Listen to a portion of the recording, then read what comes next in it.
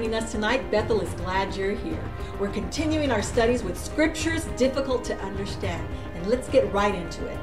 Now, let me ask you this Have you ever felt betrayed or disgusted or enraged or maybe even antagonized by someone? Or perhaps you've witnessed someone in those stages and words like this came out. They'll get what's coming to them. What goes around comes around. They've got it coming. They're going to get a taste of their own medicine. Don't take it lying down. Don't get mad. Get even. Payback is coming. Revenge is sweet. Now, I know we've all been down that road. We have wished payback for those who have done us wrong, or perhaps the tragedies that happen in this world that just didn't deserve to happen. They require justice. Even the evils that go on in this world, they just deserve no mercy, right? Just like the introductory verse said at the beginning O Lord, how long will the wicked triumph? Shine forth your vengeance, O Lord. So, how do we as believers deal with events in our lives that deserve justice and retribution and, and vengeance? In order to understand how, we need to go back to some Old Testament scriptures. We're going to be looking at some scriptures that are prayers for revenge, prayers that are seeking justice or retribution or even vengeance. Amazingly, we find these prayers in the book of the Psalms. Now, we're more familiar with the Psalms being like songs or poems, right, of encouragement. But there are at least 10 Psalms that are considered imprecatory Psalms. Imprecatory meaning songs that utter curses. And we'll look at a couple of them that fall under imprecatory Psalms seeking justice. Let's start with the first psalm, Psalm 137. Now, let me give you some history about this psalm. Because of their disobedience and their idolatry, the Israelites have been taken captive by Babylon. Now, the Babylonian army was well known for their brutality.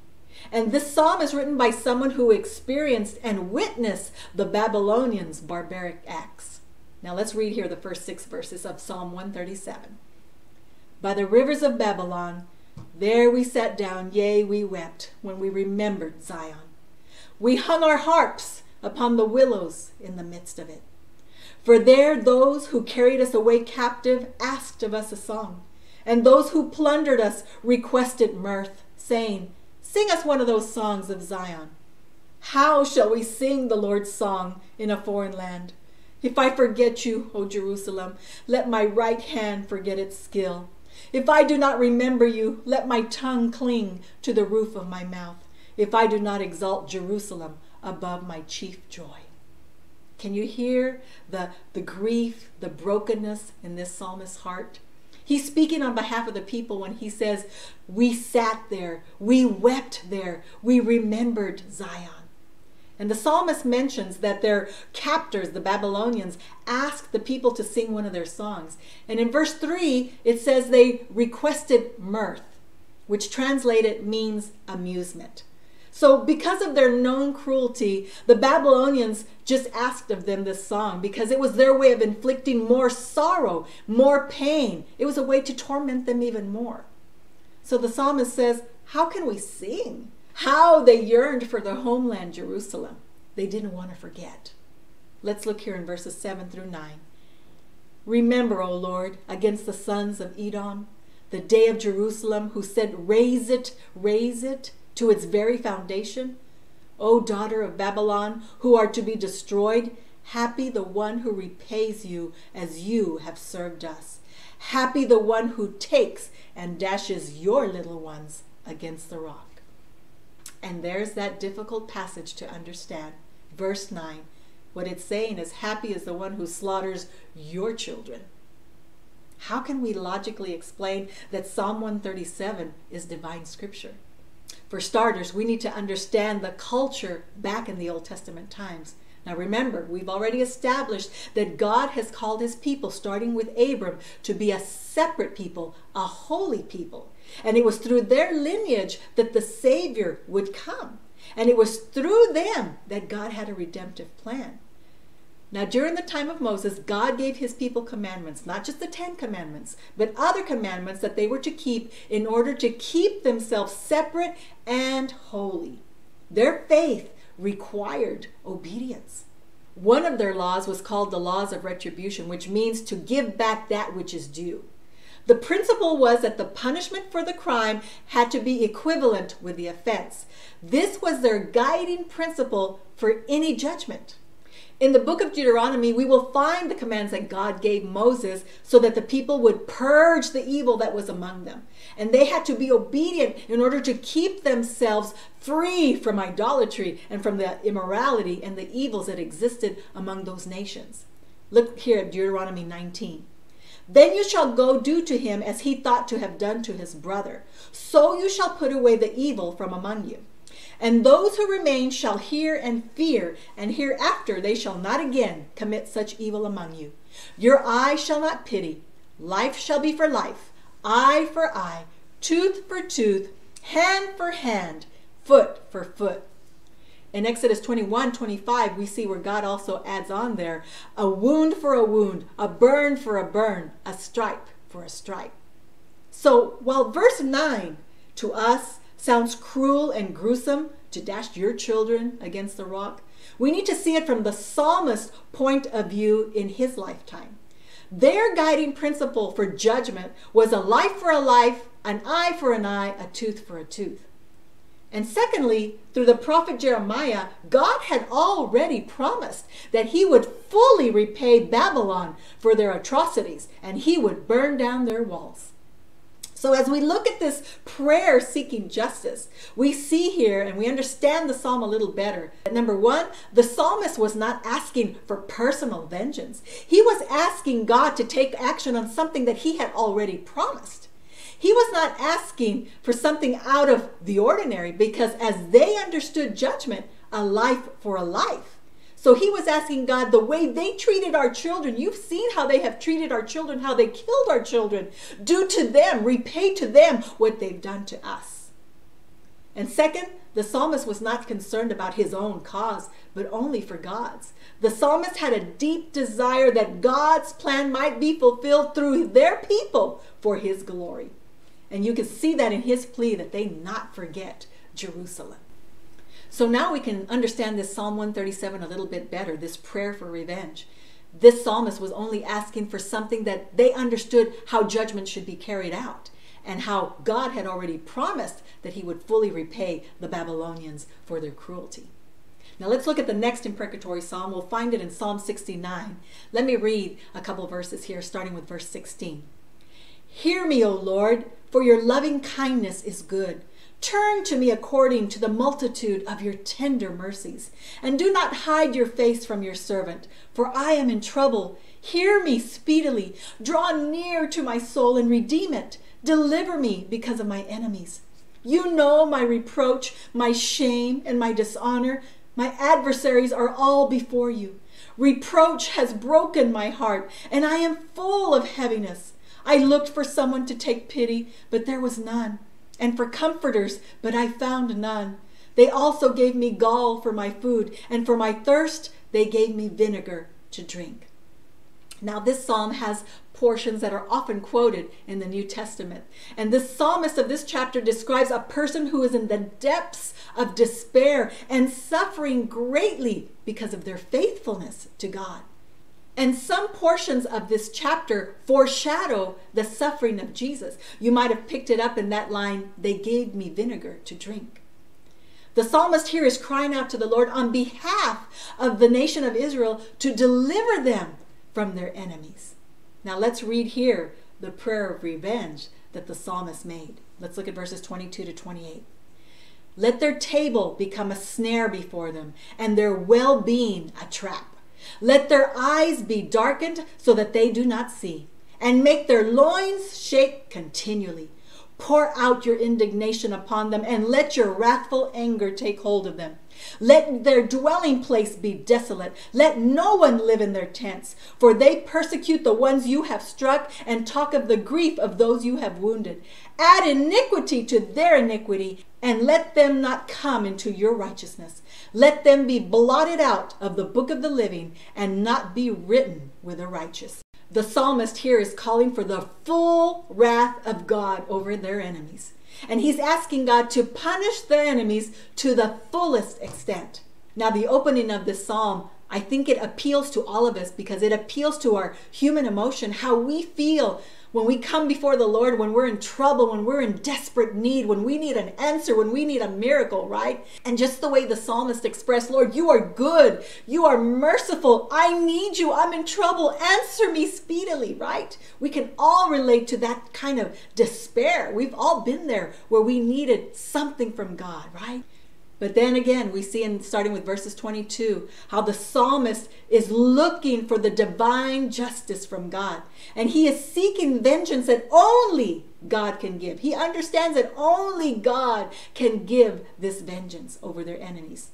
Haven't we prayed prayers like that, similar to this? Maybe not in such harsh words like the psalmist did, but we pray prayers when someone has done us wrong and we say, Lord, show them. Show them the error of their way, Lord. Discipline them, Lord. May they encounter what it's like to go through what I've gone through. We think we know what a person needs to go through in order to suffer or be punished, right? But isn't really only God the one who is qualified to bring justice, right? In Deuteronomy 32, we find a song that God gave to Moses. And this song was to be taught to the Israelites, and they were to sing it as a reminder that faith required obedience. Their whole existence was a result of God's faithfulness and his mercy. And this song served as a warning that if they were disobedient, it would bring God's judgment on them. Of course, we know that Israel would be disobedient many more times. They would repent, they would again return to their wicked ways, they would repent, and then they would go right back. But God used other nations to bring punishment for their disobedience. But in that song, God gave a statement, first to Israel, then to all their enemies. It says here in verse 35 Vengeance is mine and recompense. Their foot shall slip in due time, for the day of their calamity is at hand, and the things to come hasten upon them. In the NIV version, it says, It is mine to avenge, I will repay. So this statement reflects both judgment and hope. It did back then for his people, and it stands true for us today. God will punish those who disobey, and God alone will bring justice. So while you may have that same prayer of desperation or that same uh, prayer of seeking justice from God and saying, Lord, you've seen what they've done to me. You've seen what they've done to my family. You've seen the wrong that has been done towards us. Lord, this is uncalled for. This is not right, Lord. This is wrong, Lord. Punish, Lord. Bring justice. We need to understand that, yes, God hears. God hears that prayer. But again, we have to understand that only God can do so in His time. While we want to see God's wrath right here and now, we need to know that one day there will be a final time of judgment. And God says, I will avenge, I will repay. Only God is the righteous judge, and he will bring vengeance. Amen. Only God. So now let's move on to another imprecatory psalm, Psalm 109. Here's a background on this one. This psalm is not a soothing psalm. This psalm is not a comforting psalm. It does not inspire us to worship, much less praise God. This is probably the harshest of all the imprecatory psalms. Who wrote it? David. Ah, well, since he was known as a man after God's own heart, it must have been justified, right? But within this psalm are some troubling words that we cannot understand, much less try to explain. But just like the word tells us, that every scripture is inspired by God and useful. So there must be a reason, there must be something we can learn from this Psalm 109. Let me start by reading the first five verses. Do not keep silent, O God of my praise, for the mouth of the wicked and the mouth of the deceitful have opened against me. They have spoken against me with a lying tongue. They have also surrounded me with words of hatred and fought against me without a cause. In return for my love, they are my accusers, but I give myself to prayer. Thus they have rewarded me evil for good and hatred for my love. In this psalm, David is seeking retribution on someone who has been his friend, but has lied about him, attacked him, and falsely accused him. But did you hear the attitude in his words? David is speaking with a confidence of a man who is right standing before God. David is a worshiper of God and he tells them, I gave them love. I showed them good. And did you catch verse 4? He said, I even prayed. He prayed for his enemies despite all the wrong that they had done towards him. Now, David is not a man free from sin. In other Psalms, we see where he confesses his sins. But here in this Psalm, he is making a plea to God that only God can bring righteousness and justice. And he knows that only God can do that. This prayer that David has is to seek punishment on the wicked. Now he knows he stands before God innocent. This is why he writes this prayer. This is why he uses these words because he knows he's innocent before God. His heart is free from guilt because he knows his enemies have done him wrong. And this is the basis for his plea. My enemies are wicked, they're evil. Now, David does not mention who his enemy is. He doesn't need to. He knows that God knows who it is.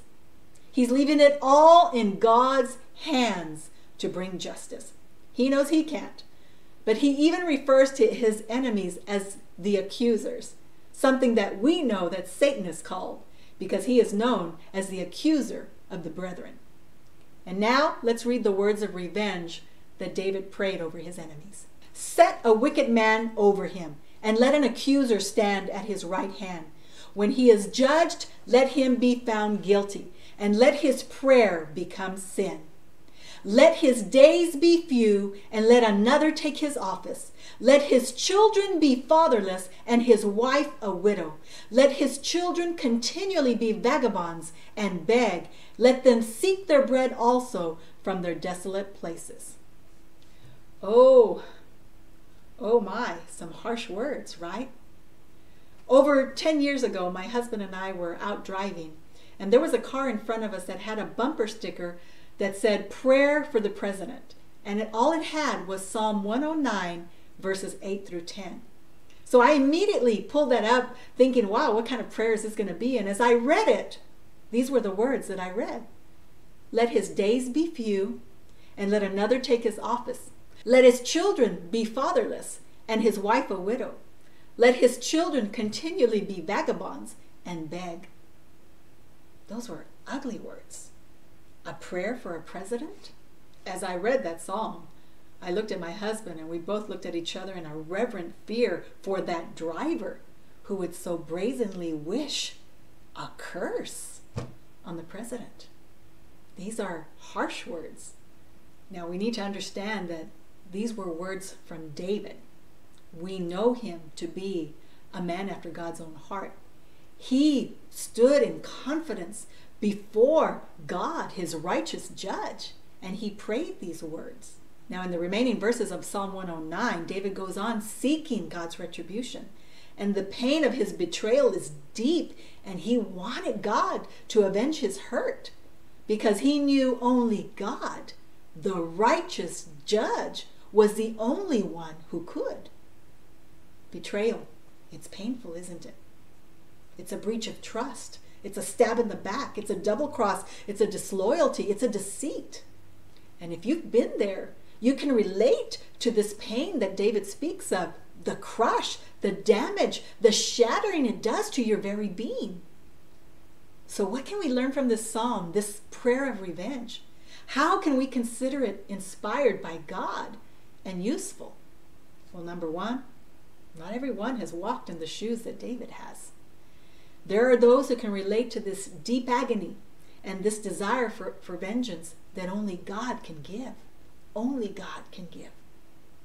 And number two, during the Old Testament times, the people did not have a clear understanding of judgment that would take place. They could only pray that God would send justice, and they wanted to see it happen right there and then. But they didn't fully understand what you and I understand today about judgment that no one will escape it. Look here, real quickly, at 2 Corinthians 5.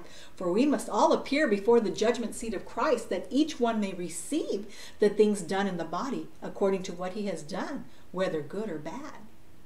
All the pleas for justice and revenge in this psalm were based on God's character, which is holy and righteous, and on his covenant promises.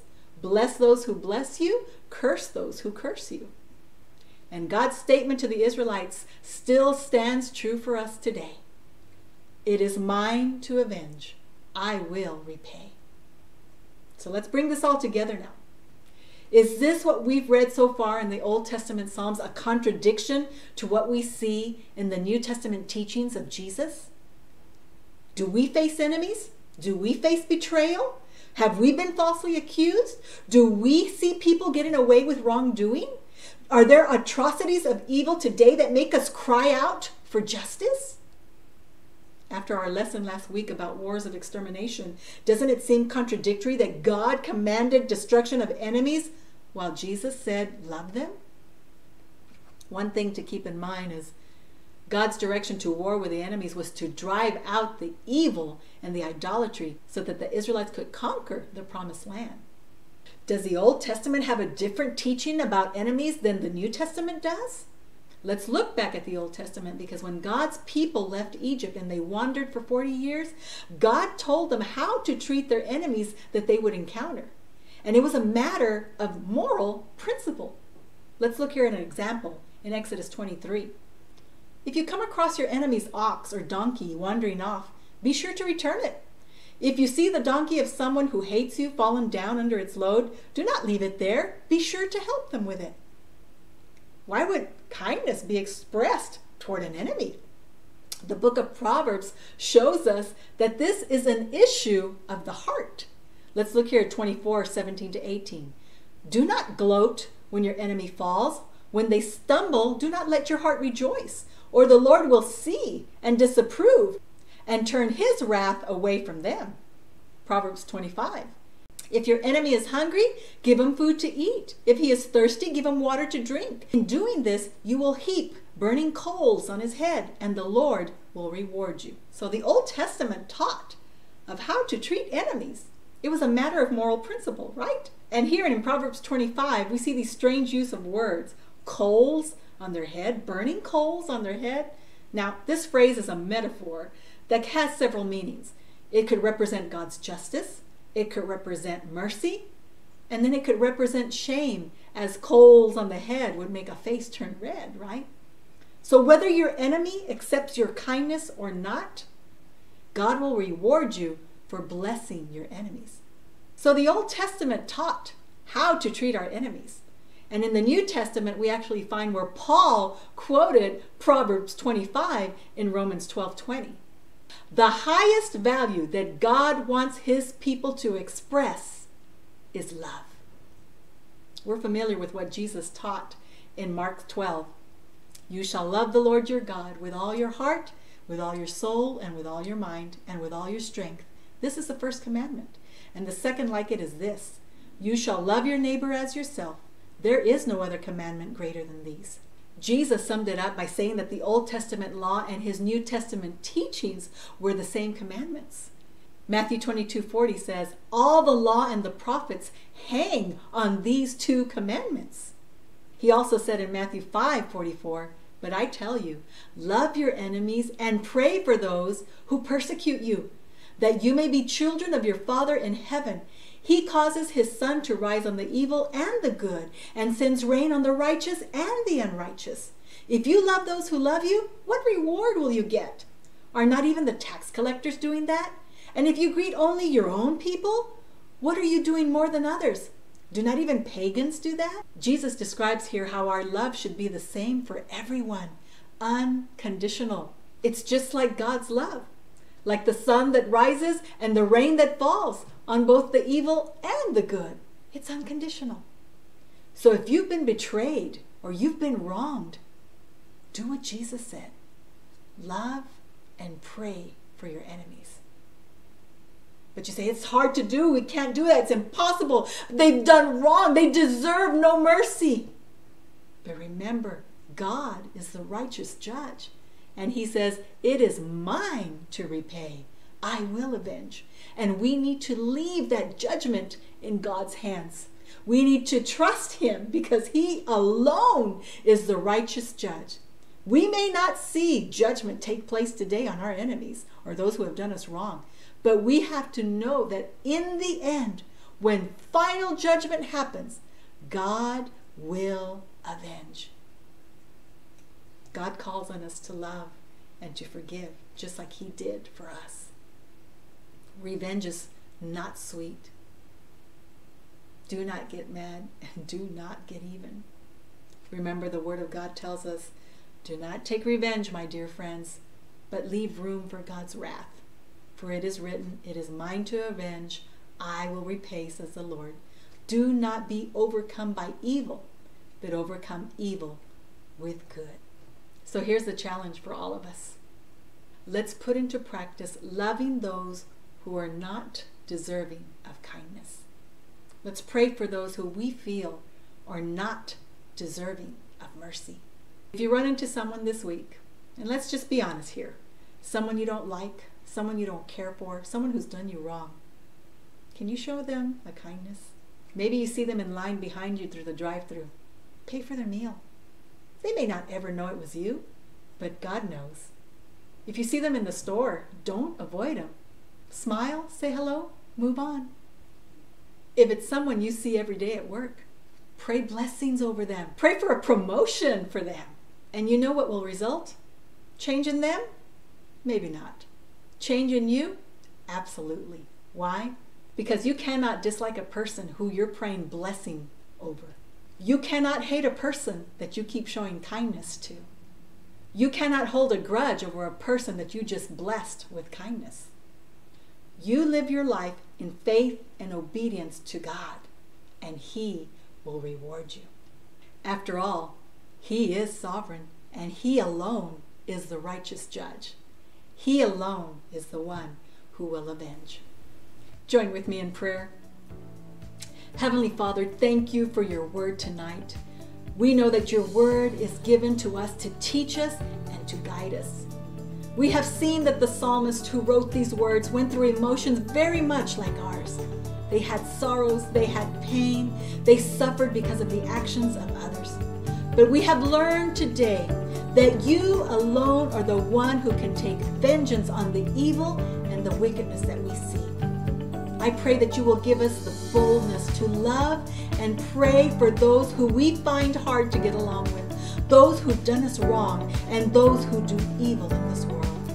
Help us to take on your heart, Father, one of unconditional love. We pray these things in the name of Jesus, who alone gives us the strength. Amen. Amen. God bless you. Have a blessed week. Catch you next week.